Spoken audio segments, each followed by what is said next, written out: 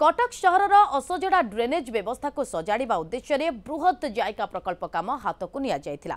କେବେ ସୁଦ୍ଧା କାମ ଚୂଡ଼ାନ୍ତ ରୂପ ନେବ ତାର ସଠିକ୍ ଉତ୍ତର କାହା ପାଖରେ ନାହିଁ। ମୌସୁମୀ ଆସିବା ଆଗରୁ ସମସ୍ତ ନିର୍ମାଣ କାମ ସରିବ ବୋଲି କହୁଛନ୍ତି ପ୍ରକଳ୍ପ ମୁଖ୍ୟ।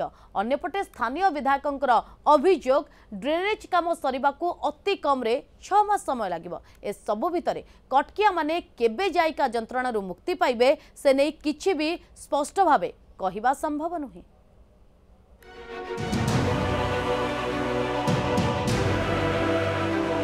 କେବେ ସରିବ ପ୍ରତୀକ୍ଷିତ ଜାଇକା ପ୍ରକଳ୍ପର କାମ? ତାର ସଠିକ୍ ଉତ୍ତର କାହା ପାଖରେ ନାହିଁ। ଖୋଦ୍ ଜାଇକା କର୍ତ୍ତୃପକ୍ଷଙ୍କ ପାଖରେ ବି ନାହିଁ ଉତ୍ତର। ଯଦିଓ ସହର ଭିତରେ ଚାଲିଥିବା ସ୍ୱେରେଜ କାମ ଆପାତତଃ ଶେଷ ହୋଇଛି କିନ୍ତୁ ଅଟକି ରହିଛି ଡ୍ରେନେଜ୍ କାମ।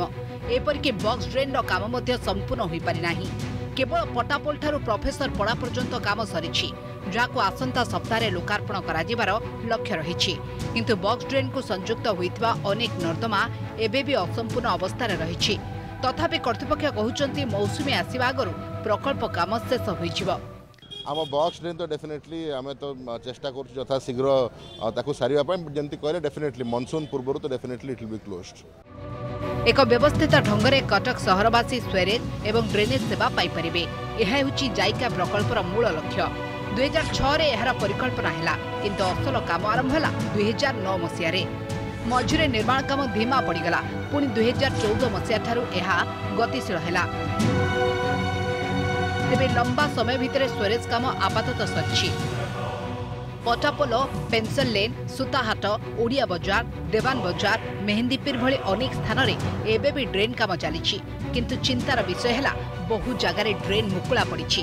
ଯାହାକୁ ନେଇ ଅନେକ ଦୁର୍ଘଟଣା ମଧ୍ୟ ଘଟୁଛି।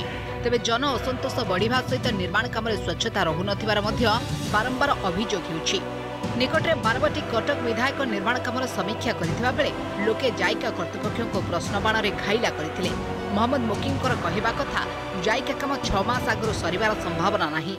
କେବଳ ଗୋଟେ ଥୁକପାଲିସ ମାରି କାମ ନେଇଯିବା ତାହା କଟକ ସହରବାସୀ କେହି ବରଦାସ୍ତ କରିବେ ନାହିଁ। ବହୁତ ବର୍ଷ ହେଲା କାମ ପଡ଼ିଥିଲା ଲୋକ। ସେ କହୁଛନ୍ତି ମାର୍ଚ୍ଚ ଥାର୍ଟି ଫାର୍ଷ୍ଟ ସୁଦ୍ଧା ସରିବ।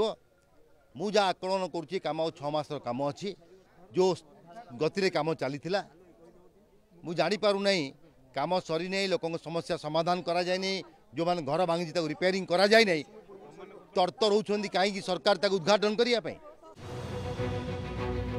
পাঁচ বর্ষ ভিতরে প্রকল্প কাম সারিবার লক্ষ্য ধার্য হয়েছিল কিন্তু এর ভিতরে দুই দশন্ধি বিতবাক বসলা কিন্তু কাম সরু না কটকিয়া মানে কেবে উপযুক্ত সেবা পাচ্ছেন দেখা বাকি রহলা camera person Debabrata Swain কটকর Debiprasad Mohanty report news seven